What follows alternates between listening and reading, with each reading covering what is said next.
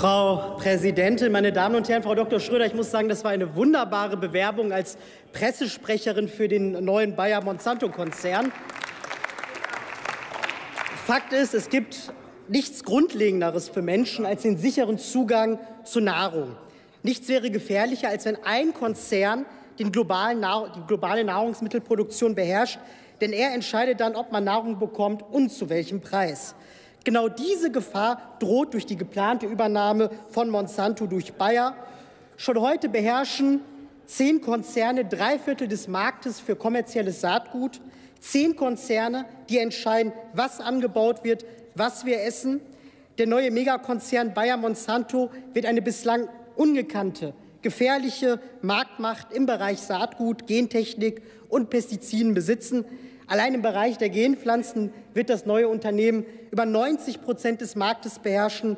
Statt der Macht einiger weniger Konzerne brauchen wir eine Demokratisierung des Agrarmarktes, weil der, der, Zugang zu Nahrung ein Menschenrecht ist. Und deshalb hoffe ich, dass die Kartellbehörden diesem Deal einen Riegel vorschieben werden. Die geplante Übernahme ist jedoch nicht die einzige Strategie von Bayer, um seine globale Marktmacht weiter auszubauen. Eine andere viel zu wenig beachtete liegt in der intensiven Kooperation von Bayer mit der Bundesregierung im Rahmen der Entwicklungszusammenarbeit. Nehmen wir das Beispiel Afrika. Dort stellen die Bauern noch bis zu 90 Prozent des Saatgutes eigenständig her.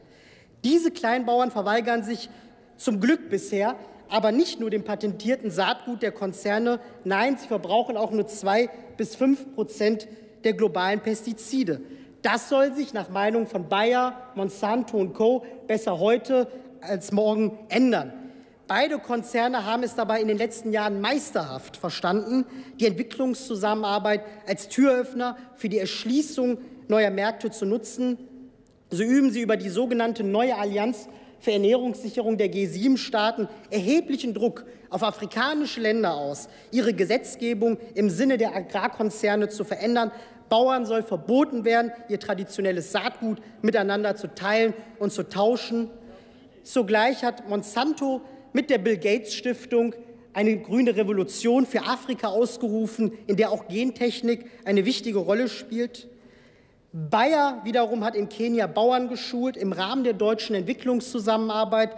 Sollte alles angeblich produktneutral sein, bestimmt ist es nur Zufall, dass der Absatz von Bayer bei Pestiziden daraufhin um 20 Prozent stieg. Diese Schulungen sollen im Rahmen der Grünen Zentren, einem Lieblingsprojekt von Entwicklungsminister Müller, weitergehen, wohl bald auch mit Monsanto-Produkten im Sortiment. Wir haben als Linke die Kooperation zwischen staatlicher Entwicklungszusammenarbeit und Agrarkonzernen stets abgelehnt. Die bevorstehende Übernahme bringt das Fass aber zum Überlaufen. Deshalb, liebe Bundesregierung, beenden Sie die Zusammenarbeit, keine Steuergelder und keine Kooperation mit Bayer Monsanto. Wenn Vertreter dieser Unternehmen von Hungerbekämpfung sprechen, geht es nicht um die Teller, Teller der Armen, sondern um die Taschen ihrer Aktionäre. Ihre umweltzerstörenden Gentechnik-Pestizidkombination kann sich kaum ein Kleinbauer leisten. Die Kleinbauern, die es kaufen, verschulden sich massiv. In Indien haben sich deshalb in den letzten 20 Jahren 300.000 Kleinbauern das Leben genommen, weil sie die Kredite bei den Agrarkonzernen nicht mehr bedienen konnten. Die Agrarkonzerne stillen ihren Hunger nach Profit auf dem Rücken und manchmal auch auf den Leichen von Millionen Kleinbauern. Und die Bundesregierung hilft tatkräftig mit. Damit muss endlich Schluss sein.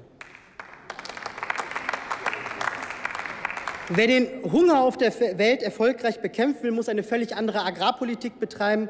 Die staatlich finanzierte Agrarforschung muss die lokalen Probleme und Erfordernisse von Kleinerzeugern in den Mittelpunkt stellen. Es muss darum gehen, Kleinbauern zu unterstützen und zu stärken. Wer sich vor der Aufgabe drückt, das Ernährungssystem zu demokratisieren und die Macht der Agrarkonzerne zu beschneiden, wird eine Welt ohne Hunger nicht erreichen. Und jetzt darf ich Sie alle noch überraschen, denn ich finde eine Sache bei dem Bayern-Monsanto-Deal gut. Nämlich, dass die öffentliche Kritik an der bisherigen Agrarpolitik zunehmen wird. Denn in Umfragen bezeichnen Menschen Monsanto regelmäßig als das meist gefürchtete Unternehmen als Symbol für alles, was auf dem Agrarmarkt schiefläuft. Genmanipulierte Pflanzen, Gifteinsatz in der Landwirtschaft, Patente auf die Natur. Gewinnstreben vor Umweltschutz. Bayer steht aber dem US-Konzern in nichts nach. Das wird nun hoffentlich auch der breiten Öffentlichkeit bewusst.